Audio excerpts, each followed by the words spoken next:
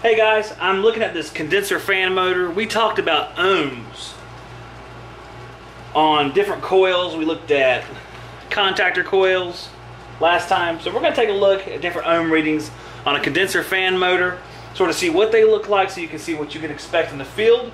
And we're going to take a look at the three wire and uh, four wire configurations for condenser fan motors. This particular condenser fan motor is a Trade Pro TP-C25-1SP2. So I got single speed, quarter horsepower, 1075, 208, 230, 1.4 amps, 60 hertz, single phase, 48 frame, 10 microfarads. Now we'll be using some capacitors in the examples in this video, but they're not the proper sizing for this fan motor. It's just what I had on the truck. Uh, I'm going to be using one to show you just how the three wire and four wire wiring uh, comes into play. So we have four wires coming off this condenser fan motor, but really only from three locations.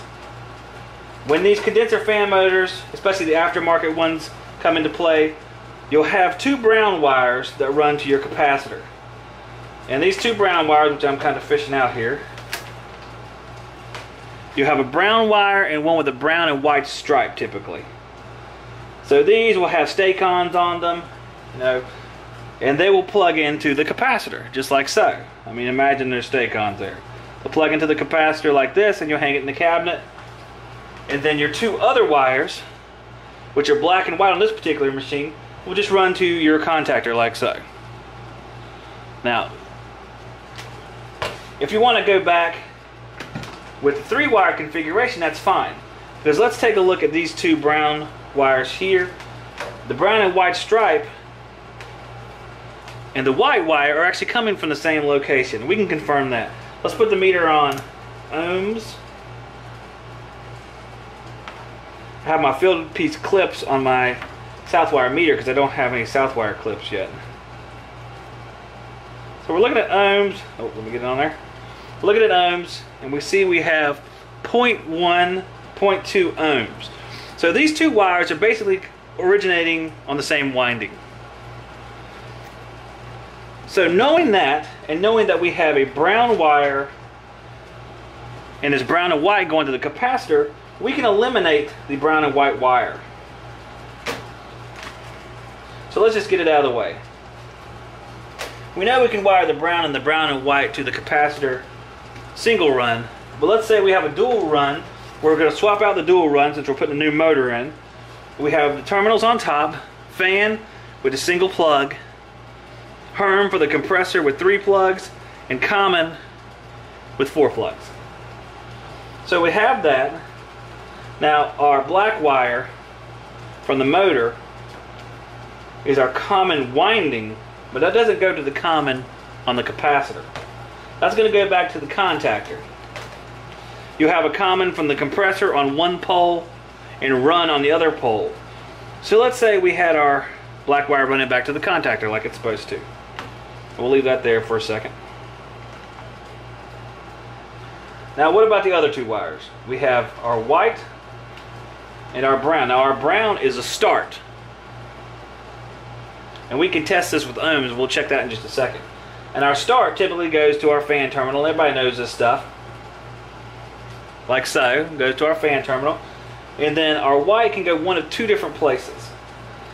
If there's a jumper from the other side of the contactor that the common is over to the common on the capacitor, the white can go right there.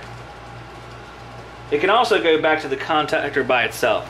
And you know, if the white goes back to the contactor, it's going to be on the opposite side as the common. The difficult thing with this is that the common on the capacitor and the common on the motor are different wires. It's just a different uh, meaning for that terminology. So you can use three wire or four wire. So let's check in between the different wires. And we know that the white and the white and brown are the same, so the white and brown is going to be out of the way for the rest of the experiment. So let's check. If we have start, run, and common, we should have our greatest resistance in between start and run. And start is the brown wire, and run is the white. So let's hook them up. We're looking at our ohms here, and we have 36.4 ohms. So let's take the start to the common.